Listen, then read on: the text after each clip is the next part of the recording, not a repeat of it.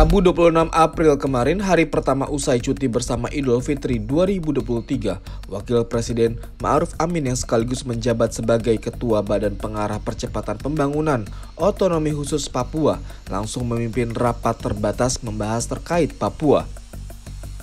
Dalam rapat ini Ma'ruf juga mengungkapkan rasa prihatinnya terkait situasi dalam dua pekan terakhir. Sejumlah prajurit TNI gugur dalam tugas operasi di Kabupaten Enduga, Provinsi Papua Pegunungan. Serta masih adanya tindak kekerasan dari kelompok kriminal bersenjata di wilayah tersebut.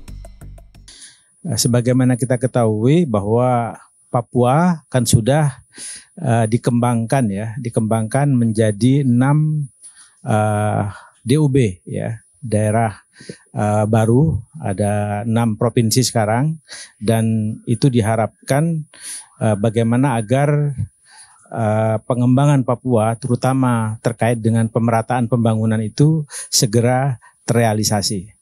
Nah, itu salah satu uh, pokok pembicaraan yang tadi banyak uh, me memakan waktu. Yang kedua tentu saja berbicara mengenai pola-pola penanganan keamanan Papua gitu ya. Lah pola-pola penanganan Papua ini seperti apa itu memang belum selesai pembicaraan karena masih akan ada rapat lanjutan dan tidak ada uh, pembicaraan-pembicaraan yang berhubungan dengan uh, itu untuk dibicarakan lebih jauh. Uh, dua hal itu saja sebenarnya secara garis besar yang dibicarakan oleh uh, apa Bapak Wakil Presiden dan sejumlah menteri.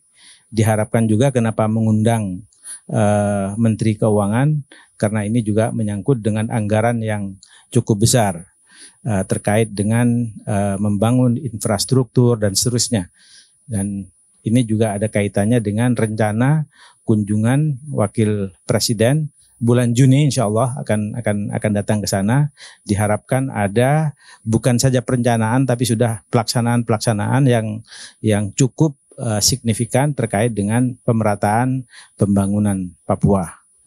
Nah, mengenai pola-pola penanganan masalah keamanan itu ya itu memang sebagaimana kita ketahui bahwa ya Papua kan memang ada daerah-daerah tertentu ya daerah-daerah tertentu ya Papua Tengah dan pegunungan yang memang masih bermasalah dengan persoalan keamanan. Itu tadi juga dibicarakan secara khusus dan itu masih belum selesai pola dan cara penanganannya seperti apa masih akan ada detail-detail yang akan dirumuskan oleh tim dari rapat koordinasi ini.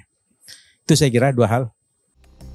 Maruf juga menginstruksikan TNI dan Polri untuk memperkuat strategi yang komprehensif untuk Papua.